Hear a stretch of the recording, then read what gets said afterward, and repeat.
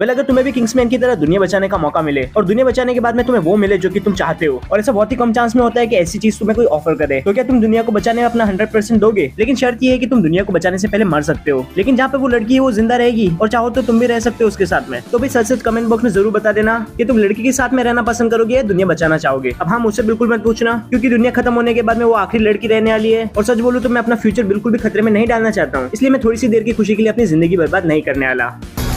छोटा पैकेट पड़ा था